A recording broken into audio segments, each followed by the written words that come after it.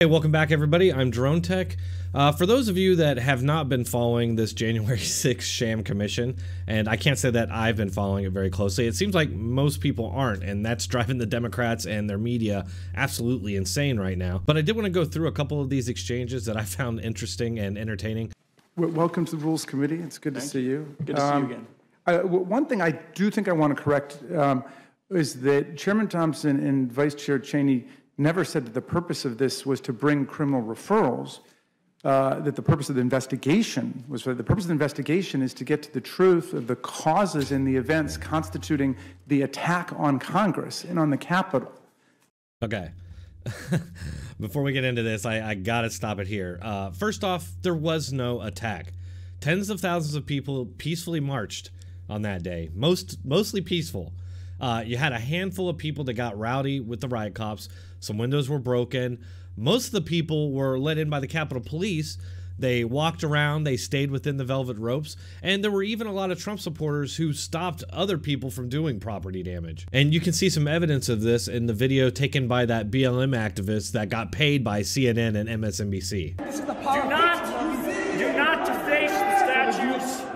We had one unarmed woman shot and killed for no apparent reason, and this was swept under the rug as a heroic act by a coward. And another important detail about this whole January 6th sham is that the media instantly started lying about it right off the bat. They claimed that one of the Capitol officers was killed along with five other people, and every single one of those turned out to be unrelated to the riot. Unfortunately, though, the drive-by media tactics had done their damage, and it reverberates to this day with media and randos on Twitter still making these claims. Another truth that completely eludes Ratskin here is the fact that not a single person has been charged with insurrection or an attack. Lastly, the FBI found no proof in their investigations of coordination or any plan to quote overturn an election by force, like Dems and their media keep repeating over and over like a big lie. We're gonna get right back into this fiery exchange between Ratskin and Matt Gaetz, but first, it's never been more important to have an emergency food supply. These days, the future is still more uncertain than ever. That's why people who know what's coming are using today to prepare. You can't wait until the last moment. By then, it's too late. The most important thing you need is long term storage emergency food. And saving $50 is impossible to pass up, but supplies are limited. So go to www.preparewithdronetek.com right now and stock up. That's preparewithdronetek.com. There's no time to lose, do it now. Here's the question I want to ask you. Let's, let's just start with basics. Do you accept that Joe Biden won the 2020 presidential election? I accept that Joe Biden is the president. Do you accept that he won the, the election by more than 7 million votes and defeated Donald Trump by 306 to 232 in the Electoral College, a margin that Donald Trump called a landslide when he beat Hillary Clinton by the same numbers? I think that says that our now, election okay. was uniquely polluted by these indiscriminate mail-in ballots. I think that this was the first time in America's history where the mailbox beat the Okay, ballot do you think there's I'm sorry, but this is just unreal that this is America in 2021. We have a Democrat here questioning another elected representative about his loyalty to the current president. He's demanding a purity test of sorts here that Gaetz acknowledge Brandon's greatness and his legitimacy. Now, beyond the fact that this just reeks of authoritarianism or something that we would see happening in a third world country, the guy demanding this declaration of legitimacy spent the last four years trying to undo the results of an election by claiming that the president was some sort of a Russian spy that stole the election with Putin. Donald Trump is the hoax perpetrated on the Americans by the Russians. He- He got up and said that Trump is a Russian hoax. But there's a lot of uncertainty. He said that Trump is a Russian hoax. We have it on camera. Okay. I, We know there are all of these meetings, you know, between the son-in-law Jared Kushner and Kislyak and all these Russian agents. And you know, I don't know whether it was a money-making operation. I don't know whether they were actually colluding to distort the news and to frame the campaign. But that's why we need an independent commission. In France, they hacked and trashed Macron. In a bid to elect the right wing immigrant bashing Marine Le Pen. You said that uh, Russia hacked the, attempted to hack Macron in the French elections. Yeah, well, we know that. I mean, I. The Washington Post has reported that the French cyber intelligence agency has said that it's not true. Well, I mean, I haven't read this article, but but Oh. certainly Macron is convinced. It's not of- true. Yeah, well, certainly Macron is convinced of it, and everything that we read before was. Well, there- I mean, there it was reported days ago. the- the- Associated Press. Well, So, you know, this guy, Ratskin, is a total hack job. He's been peddling conspiracy theories for years now, going back four years. He attempted to undo a democratic election that he didn't like the results of with conspiracy theories and disinformation from Russia, which he helped disseminate across the country, and this attempt to impeach Trump to undo the election. of Kevin McCarthy negotiated an agreement for an independent outside commission with five Democrats, five Republicans, equal subpoena power, right down the middle.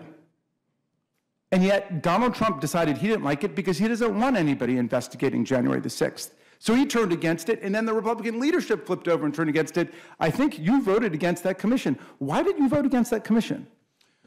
For many of the reasons that I've discussed today, that the focus on January 6th, the So you don't want to know. is unwarranted. You don't want to know anymore. Look, I think we have. Okay, a- let me ask you Mr. about that. We have a process in Article 3 where the courts get to determine those issues. If the United States government brings charges, people can resolve those in the courts. You don't want to That's know. not okay with you guys because you Mr. want to Gaetz, politicize okay. it because you. I know you too well for this. You don't want to know the answer. You don't want guys to don't know. have an no, no. answer So let me, Mr. Gaetz, let me ask you. Let me ask you a serious question. They just, the stenographer is trying.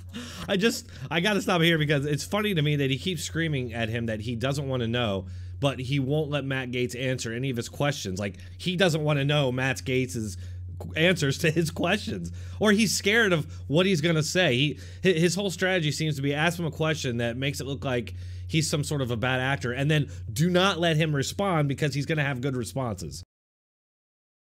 So, this whole thing is just maddening because, as we all know, any election that Democrats lose, they claim is illegitimate. As I've pointed out to you guys many times in past videos, in 2001, when Democrats lost to Bush, tens of thousands of them rioted and actually attacked Bush's motorcade. They were trying to stop the inauguration. They actually attacked the motorcade on its way to the inauguration. And I don't remember any calls for hearings or cries of insurrection or attacks on democracy. The insidiousness of this theatrical performance being put on by the Democrats is plain to see. And if we had a true free press that wasn't completely corrupted, they would be hammering the Democrats on that. Mr. Gaetz, let me ask you, ask you this. Um, let's say that the exact same attack had taken place. Let's assume 145 of our officers were beaten in the face with baseball bats, steel pipes, Confederate battle flags. I just, you notice how they try to make everything sound as horrible as possible bats and pipes and battle flags. Like they, they, they, they really try to emphasize things that really, when you stand back, are not that big a deal. I mean, look at any left wing.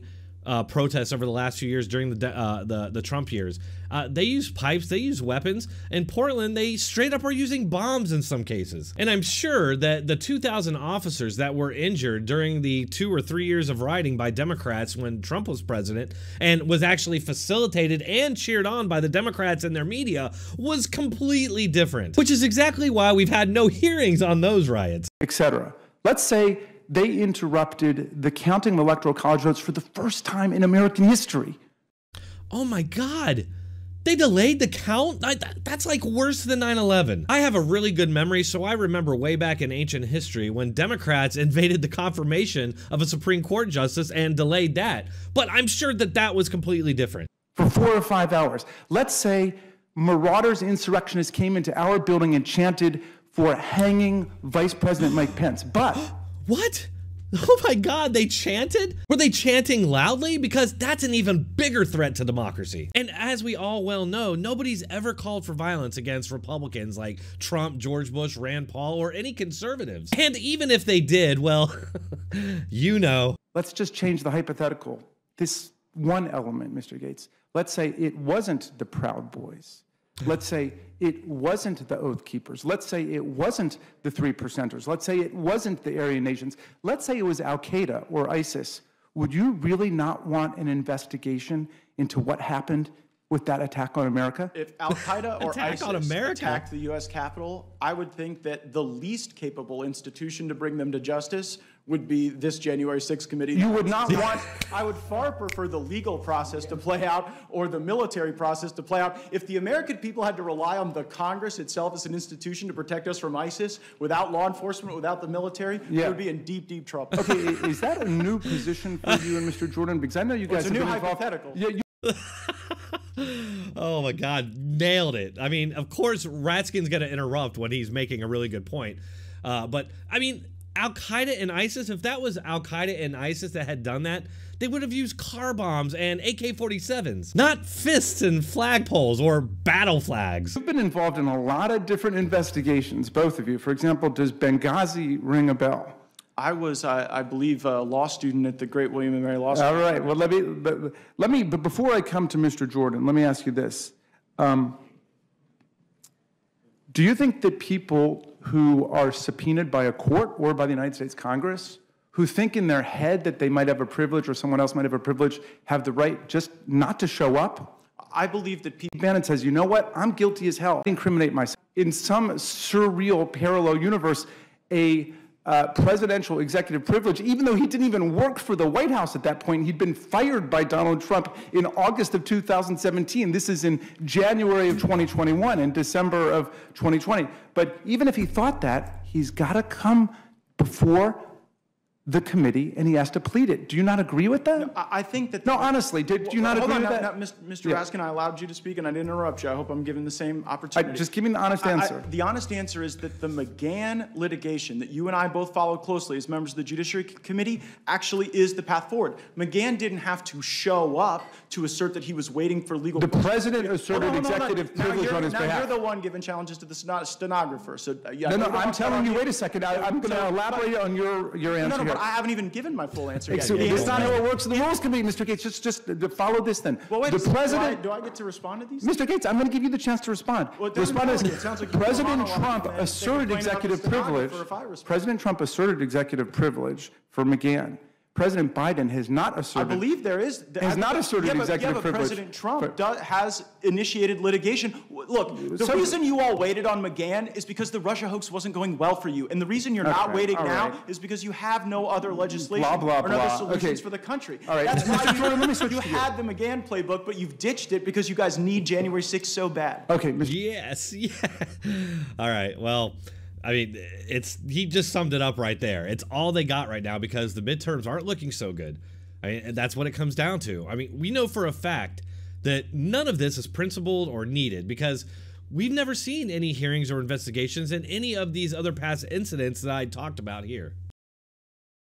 And on that point, why have we never had any hearings into the attempted assassination of half the GOP Senate? On June 14th, 2017, a radicalized Democrat targeted and shot five Republicans, almost killing Steve Scalise, while the shooter yelled, This is for healthcare. Now, despite this man being an active Bernie supporting Democrat and having a kill list of Republicans, the FBI classified it as suicide by cop. They actually defended this classification up until April of 2021, then in May, finally admitted it was domestic terror, but very quietly. I mean, can you even imagine if a Republican had shot up a bunch of Democrats? Do you think that we would ever hear the end of it? Of course not. That date, June 14th, 2017, would be seared into the minds of every American. So, where are the hearings for that?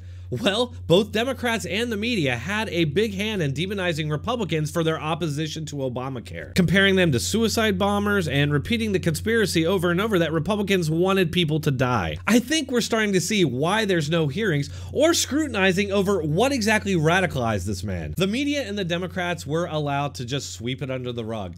And Republicans don't get a pass because they allowed it to happen. I will say they deserve some credit, I guess, for getting the FBI to change the classification, but come on. All right, folks, that's all I have for this one. As always, please, if you enjoyed this video, hit that like button. It really helps this channel. And if you have some extra time, let me know what you think in the comments.